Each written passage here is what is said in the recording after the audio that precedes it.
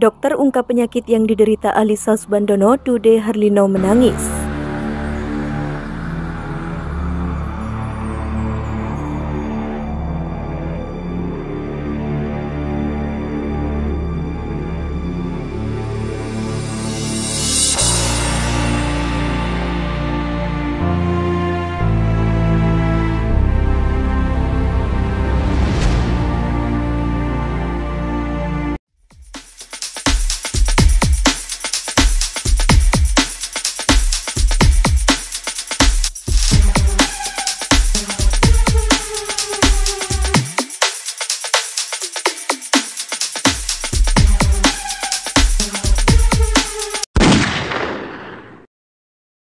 Kabar buruk dialami oleh pasangan artis Dude Herlino dan Alisa Subandono. Alisa Subandono kabarnya kini sedang menderita penyakit yang menyebabkan dirinya harus dilarikan ke rumah sakit. Berita mengenai kondisi Alisa Subandono itu salah satunya dikabarkan oleh salah satu kanal YouTube.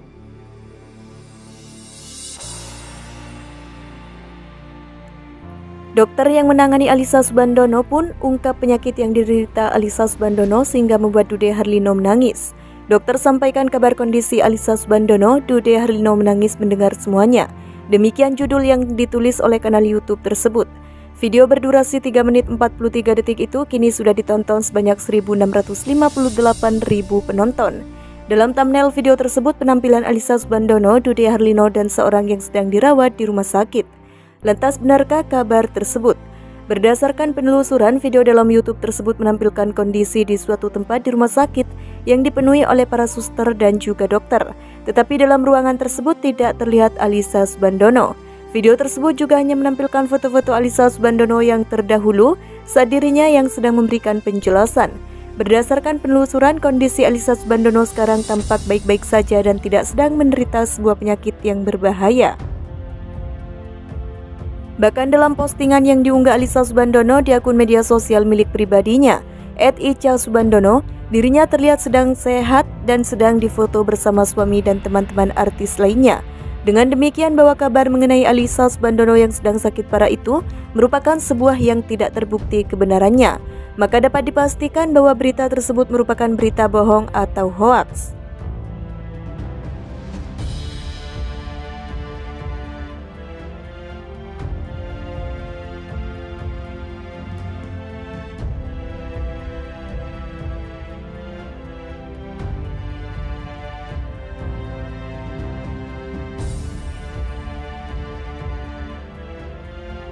Sang terpilih bercerai dari Anissa Subandono ini jawaban Dude Herlino. Isu perceraian yang melanda pasangan artis Dude Herlino dan Alisa Subandono belakangan tengah menjadi bahan pembicaraan yang membuat heboh media sosial. Namun pria kelahiran Jakarta 2 Desember 1980 itu dengan tegas membantah bahwa rumah tangganya dengan sang istri tengah bermasalah dan di ujung perpisahan. Kalau bicara tentang isu-isu atau berita hoax ya atau bisa dibilang fitnah, itu sudah jelas dalam Islam ada hukuman yang berat untuk penyebar berita yang tidak benar. Semoga kita semua terhindar dari fitnah dan difitnah, tegas Dude Harlino dalam akun media sosialnya. Dude juga berupaya menjelaskan bahwa hubungan dengan sang istri kini baik-baik saja. Bahkan dirinya menegaskan jangan pernah mendengarkan isu yang tidak benar. Kalau enggak benar, enggak usah didengarkan. Kita baik-baik saja, kita terus meminta sama Allah mudah-mudahan terjaga dari hal yang buruk-buruk. Karena di Islam kan sudah jelas, fitnah itu lebih kejam dari pembunuhan tambahnya. Dalam unggahan lainnya, Duda juga mengunggah sebuah video terkait kebersamaannya dengan sang istri dan juga anak-anaknya. Nemenin si cantik yang lagi sarapan. Selamat sarapan semua, tanda Dude. Isu perceraian Dude dan Anissa Subandono ini berawal dari postingan seorang petugas pengadilan agama Jakarta Selatan yang menyebut telah menerima berkas kasus perceraian atas nama Subandono. Hal tersebut lantas dihubung-hubungkan warganet dengan rumah tangga Alisa Subandono dan Dude Harlino yang kemudian viral di media sosial. Dude dan Alisa Subandono sendiri menikah pada 22 Maret 2014 dan dikaruniai dua orang anak laki-laki bernama Muhammad Irgantara Arindra Harlino dan Malik Mahendra Harlino.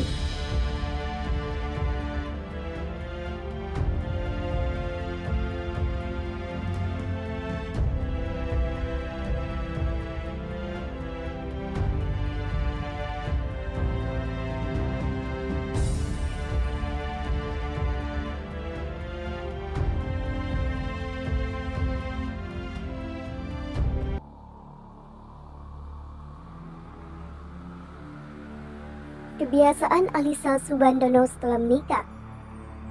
Dude Harlino membeberkan fakta tentang kebiasaan sang istri, Alisa Subandono yang baru diketahuinya usai menikah. Dude mengungkapkan Alisa ternyata tipe perempuan yang banyak menghabiskan waktu untuk belajar. Ica ini memang suka banget belajar setelah nikah semakin yakin dan semakin dalam lagi gitu. Jadi kalau mempelajari sesuatu dalam bicara soal anak ya, dia kupas dari sini, referensi ini semua dikumpulin sama dia, kata Dude Harlino. Melihat kebiasaan belajarnya tersebut, pria 41 tahun ini menyarankan Ica sapaan Alisa untuk melanjutkan studinya ke jenjang yang lebih tinggi.